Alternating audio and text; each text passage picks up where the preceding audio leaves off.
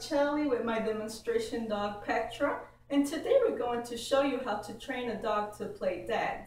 This is an impressive trick where we'll be asking our dog to drop to the floor when we point with our finger and say bang.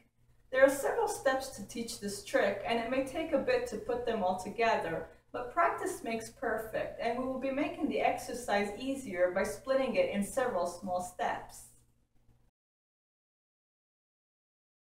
For this trick, we will be needing the following items.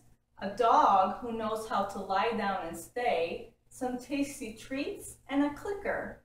A clicker is a noise-making tool used to mark desired behaviors. If you don't have a clicker, you can replace the clicking sound with a verbal marker such as yes, followed by a treat. The yes gives your dog feedback informing him that he got it right and he'll be earning a treat. For this trick, I recommend working on a carpet or another soft surface. In this trick, we will be using a combination of methods to get our dog to play dead when we pronounce the verbal cue bang. We will be using a method known as luring, where we use food as a lure to position our dog in a desired position. And then we will be also using shaping as we teach the behavior in several small steps. Finally, we will be using a prompt delay procedure to get our dog to drop dead upon hearing the verbal cue bang. So let's take a look at the process. Step one, we will be asking our dog to lie down and then we will be using a food lure to guide our dog to lie down on her side with a movement as such. The moment her shoulders touch the floor, we click in reward. Let's see it again.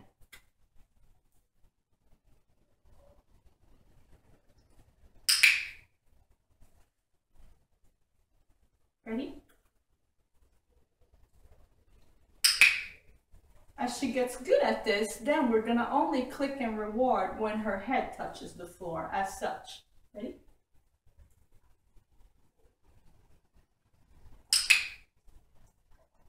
Let's do it again. Ready?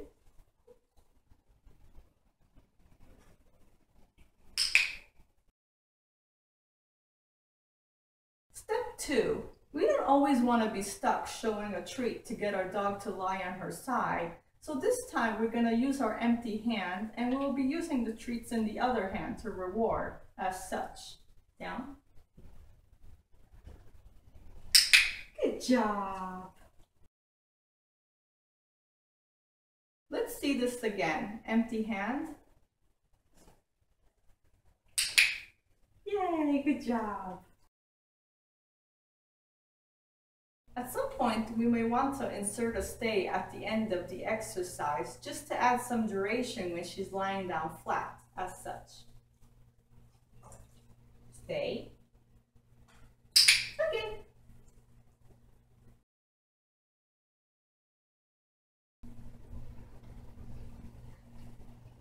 Stay. Okay.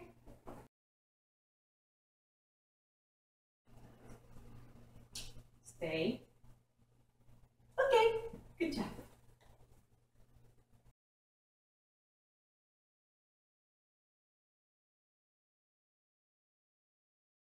At some point, we don't want to rely always on this gesture to make our dog lie down on her side. So we will be morphing it into the pointing gesture that will become our bang gesture. We will be doing this gradually as such.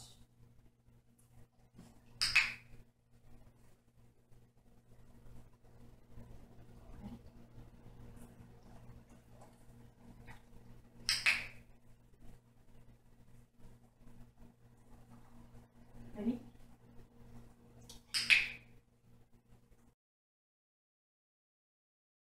That the time that we would insert the verbal cue bang with our pointing finger. We will be basically doing as such. Bang, lay down.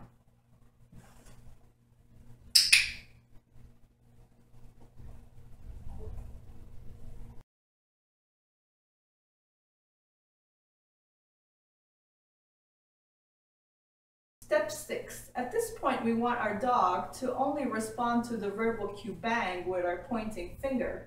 We don't want to say lie down anymore. Hopefully she'll anticipate us and if she does, we'll be giving a jackpot of treats as such. Petra, bang! Yay, good job! Jackpot, yay! Petra, bang!